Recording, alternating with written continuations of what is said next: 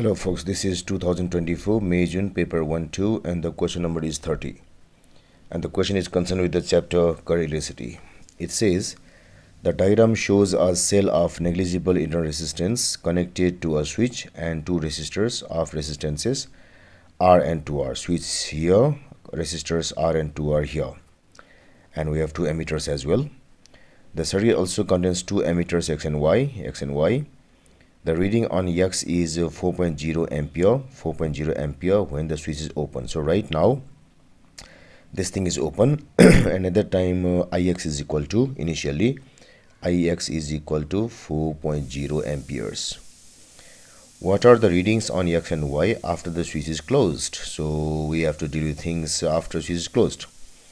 So initially open. What happens is current flows through this path only through this path only. So i can say that and uh, the resistor res resistance will be R only. This 2R would not work. So we have this I should be equal to sorry we have this uh, uh, this uh, Ix should be equal to equal equal to E by this R. E by R. So E is the EMF here. R is the resistance through which current flows so it should be E by R. So which means it is 4.0 is equal to E by R or vice versa. E by R equal to 4.0 this is something that we should be taking in mind. Now we connect the switch. So when we connect the switch this twice R also comes into effect. And this ammeter also comes into the picture. So first what happens is current comes up to here then it divides. It divides. And when it divides uh, the value of current here will be uh, mm, uh, let's say let's do it later. So first let us find the value of this combined resistance r total so R total will be equal to twice R into R divided twice R plus R. That's equal to 3 sorry twice R square by 3R uh, which is equal to 2R by 3. So it is 2 by 3 into R. So this R total is equal to 2 by 3 into R. Now the new current is, new current in the circuit is Ix is equal to E divided the total resistance which is RT. So that's equal to E by 2 by 3R. That's equal to 3 by 2 then E by R.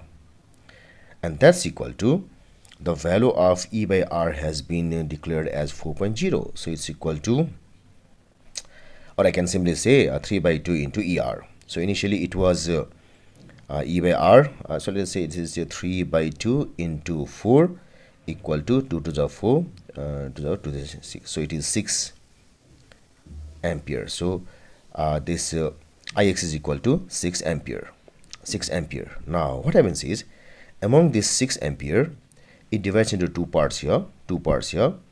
And since the resistance here is half this is twice. This is twice of this thing. So that's why the current going here should be twice of the i. And this should be i. If this is i the current going here should be twice I because it has got half of the comparative resistance. So this resistance is half of this, so that's why current going here should be twice of this. So now that means, let's go for this.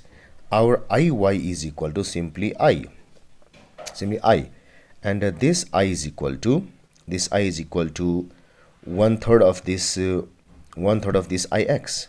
So IX is, uh, IX divides into this and this, 2i i total should be 3i total should be 3i so that's why it's equal to one third of this one third of ix one third of uh, ix it should be that's equal to 1 by 3 into 6 uh, amperes.